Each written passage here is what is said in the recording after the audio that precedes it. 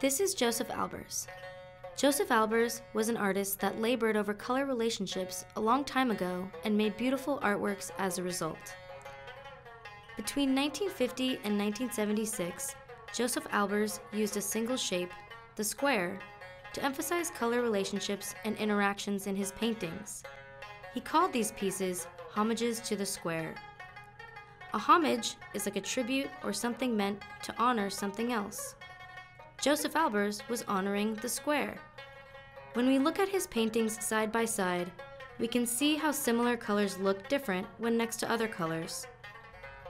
Now, let's make our own homages to the square.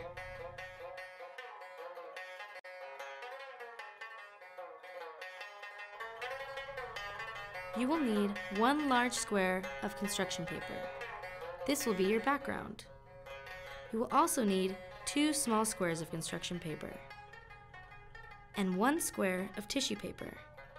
The tissue paper will allow you to create lighter or darker versions of a color. Next, you will need one large square of colored acetate or colored plastic. The acetate is see-through. This means you can layer it on top of other colors to create different versions of colors. You will also need two small squares of colored acetate.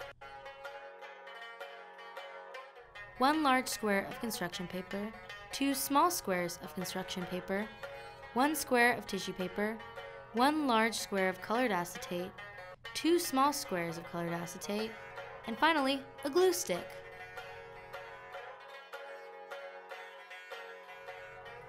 Start by layering all of your squares in different ways. See what happens when certain colors mix with other colors. Don't settle for the first idea you come up with. Try a bunch.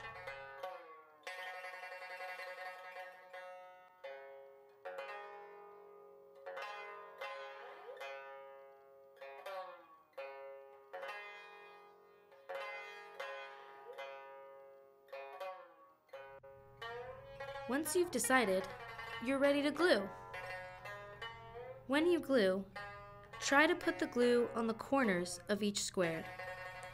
And start by gluing the layers on the bottom first, then work your way to the top layer.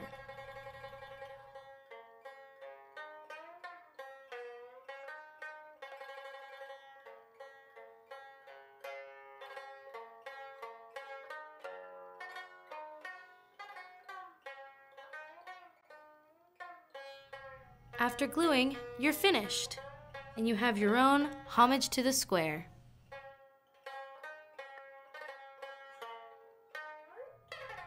Here are some examples of other student work to inspire you. And don't forget, have fun!